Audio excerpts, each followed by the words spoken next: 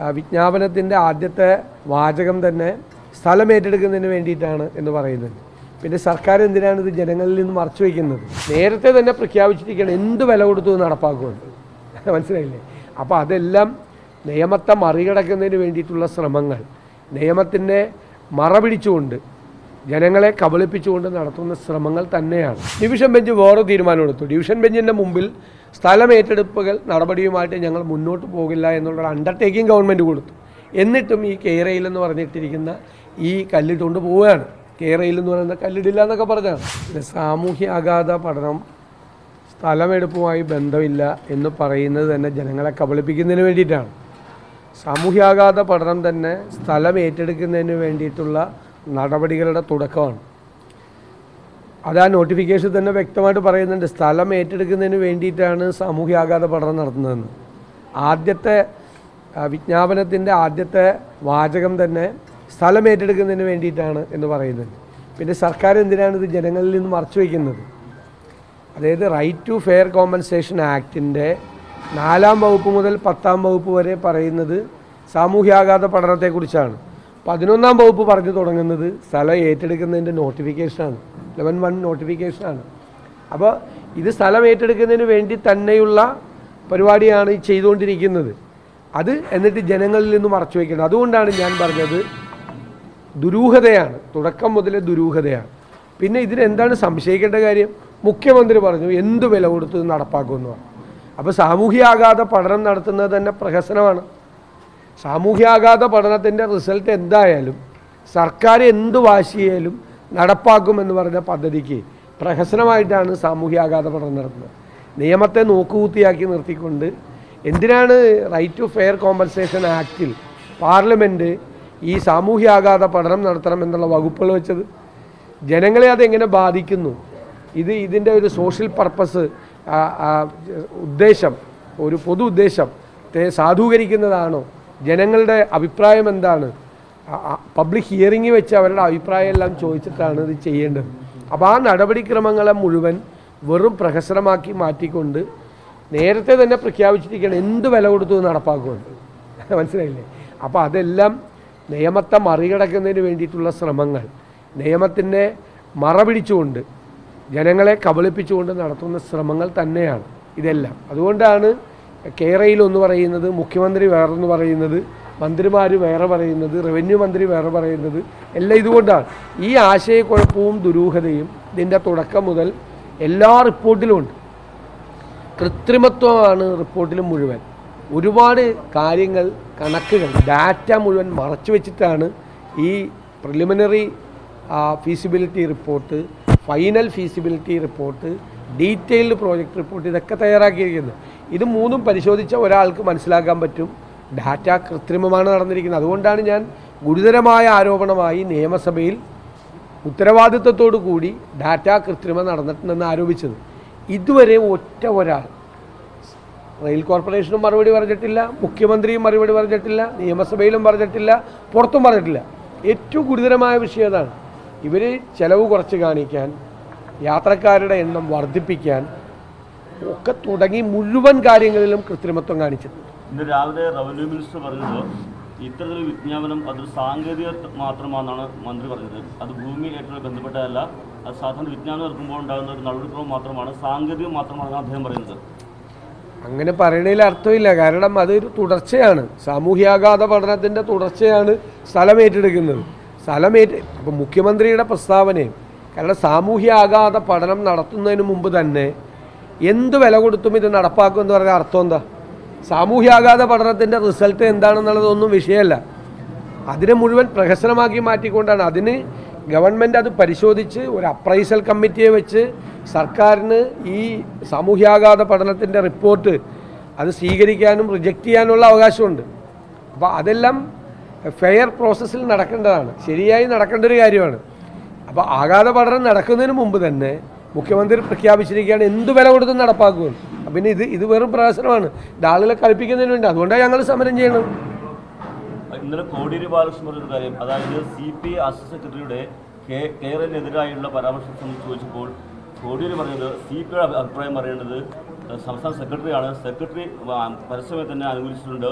Secretary C പിന്നോടൊന്നും പറഞ്ഞിട്ടില്ല. അതുകൊണ്ട് വേറെ ആരും പറഞ്ഞതിനോട് പ്രതികരിക്കേണ്ട കാര്യമില്ല എന്നാണ് കോടിയേരി ഇന്നലെ പറഞ്ഞത്. അല്ലാതെ അദ്ദേഹം പ്രതികരിക്കണോ വേണ്ടെന്നുള്ളത് അദ്ദേഹം തീരുമാനിക്കേണ്ട ഒരു വിഷയമാണ്. പക്ഷേ സി പി എമ്മിലും സി പി ഐയിലും ഇടതുമുന്നണിയുടെ ഘടകകക്ഷികളിലും ഇടതുപക്ഷ സഹയാത്രികരിലും ഇടതുപക്ഷ നിലപാടിനോടൊപ്പം നിൽക്കുന്നവരിലുമെല്ലാം അതിശക്തിയായ എതിർപ്പ് ഈ സിൽവർ ലൈനിനോട് ഉണ്ട് എന്നുള്ളത് യാഥാർത്ഥ്യമാണ്. അതുകൊണ്ട് തന്നെ Congress Muslim League B J P Jamaat Islami എന്നുള്ള ആ ഒരു വിമോചന സമരം തുടങ്ങിയ സ്ഥിരം വാക്കുകളുണ്ടല്ലോ. അതിനൊന്നും ഒരു പ്രസക്തിയില്ല ഇവിടെ. കാരണം ഇടതുപക്ഷ ചിന്തകരും ഇടതുപക്ഷ സഹയാത്രികരും ആയിട്ടുള്ള ആളുകൾ അവർ ഈ വിമോചന സമരത്തിന് ഇറങ്ങിയിരിക്കുകയാണ്. അവരല്ലേ ആദ്യം കത്ത് കൊടുത്തതും കേരളത്തിലെ ഏറ്റവും പ്രധാനപ്പെട്ട മുപ്പത്തിമൂന്ന് പേർ.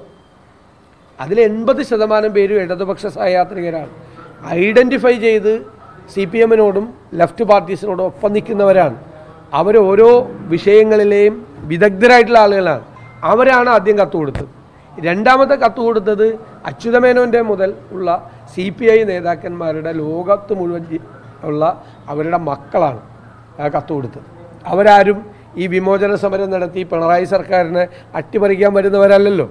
ഇതൊക്കെ ചുമ്മാ ഇങ്ങനെ പറഞ്ഞുകൊണ്ടിരിക്കുകയാണ് സ്ഥിരമായിട്ട് വിമോചന സമരം. കുറേ വാക്കുകൾ പറഞ്ഞുകൊണ്ടിരിക്കുകയാണ്.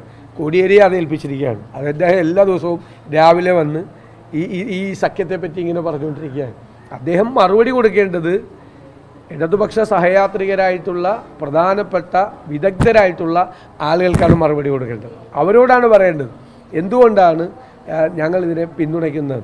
അവരെന്തുകൊണ്ടാണ് എതിർക്കുന്നതെന്ന് വളരെ വിശദമായി doctor R V G Menon അടക്കമുള്ള ആളുകൾ നമ്മുടെ ഇപ്പോൾ അടുത്ത് നമ്മളെ വിട്ടുപിരിഞ്ഞ ഡോ പ്രൊഫസർ എം കെ പ്രസാദ് അടക്കമുള്ള ആളുകൾ വളരെ പ്രഗത്ഭരായ ആളുകൾ. കേരളത്തിന്റെ പൊതുസമൂഹം ഒരു അഭിപ്രായം പറഞ്ഞാൽ ശ്രദ്ധിക്കുന്ന ഏറ്റവും പ്രധാനപ്പെട്ട വ്യക്തികൾ മുപ്പത്തിമൂന്ന് പേരുടെ കത്തുണ്ട്. അത് വായിച്ചു നോക്കണം. മുഖ്യമന്ത്രി ഒന്നും വായിക്കില്ല. മുഖ്യമന്ത്രി ഒന്നും അത് നോക്കില്ല. കാരണം നമുക്കിഷ്ടമില്ലാത്തതൊന്നും നോക്കില്ല. നമ്മുടെ അഭിപ്രായത്തിന് വിരുദ്ധമായി പറയുന്ന അഭിപ്രായങ്ങളെ ഗൗനിക്കില്ല കാണില്ല കേൾക്കില്ല. സ്വന്തമായിട്ടൊരു അജണ്ട ഉണ്ടാക്കിയിട്ട് ആ അജണ്ടയുമായി മുന്നോട്ട് പോവുകയാണ്. അത് ഒരു ഭരണാധികാരികൾക്ക് ചേർന്നതല്ല. അത് ഏകാധിപതികളുടെ പൊതുസ്വഭാവമാണ് കാണിക്കുന്നത്.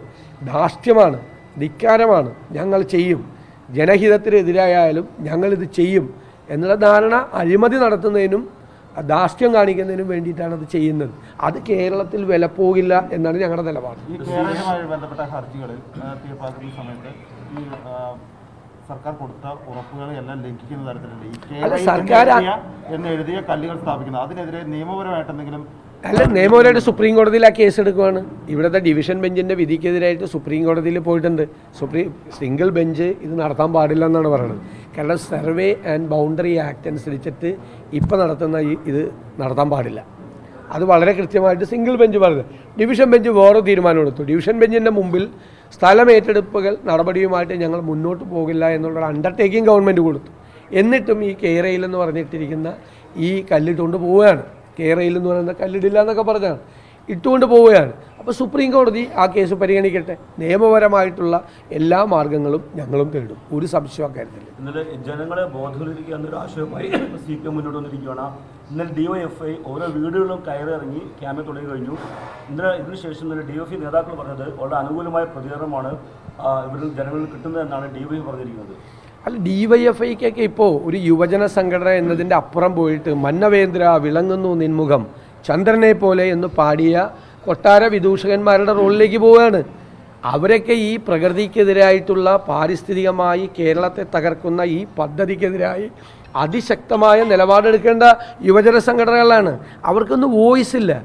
മനസ്സിലല്ലേ അവരെല്ലാം ഹിസ് മാസ്റ്റേഴ്സ് വോയിസാണ് അല്ലാതെ വേറെ അവർക്ക് സ്വന്തമായി ശബ്ദമില്ല അപ്പോൾ അവർ ആ ആ ജോലി ചെയ്തുകൊണ്ടിരിക്കുകയാണ് ആ അടിമ ജോലി ചെയ്തുകൊണ്ടിരിക്കുകയാണ് എന്താണ് വീടുകളിൽ പോയി പറയുന്നത്? നമ്മൾ ചോദിക്കുന്ന പ്രതിപക്ഷം ചോദിക്കുന്ന ചോദ്യങ്ങൾക്ക് മുഖ്യമന്ത്രിക്ക് ഉത്തരം പറയാൻ പറ്റുന്നില്ല. പിന്നെ ഡി വൈ എഫ് ഐക്കാർ പോയി വീട്ടിൽ പോയി എന്താ പറയാനുള്ളത്? ആ വീട്ടിൽ നിന്ന് കിട്ടും അതിനുള്ള മറുപടി. ഓരോ വീടുകളിൽ നിന്നും അതിനുള്ള മറുപടി കിട്ടും. പിന്നെ ഒരു കാര്യം മനസ്സിലാക്കേണ്ടത് ഞാൻ വീണ്ടും വീണ്ടും വീണ്ടും ആവർത്തിക്കുകയാണ്. സ്ഥലം ഏറ്റെടുക്കുന്ന സ്ഥലം നഷ്ടപ്പെടുന്നവർ മാത്രമല്ല ഇതിലെ ഇരകൾ. കേരളം മുഴുവൻ ഇതിന്റെ ഇരകളാണ്. അതാണ് നമ്മൾ മനസ്സിലാക്കേണ്ടത്. പാരിസ്ഥിതികമായ ആഘാതം സ്ഥലം ഏറ്റെടുത്ത് പോകുന്നവർക്ക് മാത്രമല്ല സാമ്പത്തികമായി കേരളം തകരാൻ പോകുന്നത് സ്ഥലം എടുക്കുന്നവരുടെ മാത്രമല്ല കേരളത്തിന്റെ മുഴുവൻ ജനങ്ങളെ ഇത് ബാധിക്കും. ശ്രീലങ്കയ്ക്ക് സമാനമാവും കേരളത്തിന്റെ സാമ്പത്തിക സ്ഥിതി. അതിലേക്കാണ് കേരളത്തെ കൊണ്ടുപോകുന്നത് ഈ ഗവൺമെന്റ് നമുക്ക് എതിർക്കാതിരിക്കാൻ പറ്റില്ല. അതുകൊണ്ട് ശക്തിയായി ഞങ്ങൾ എതിർക്കാൻ വെച്ചു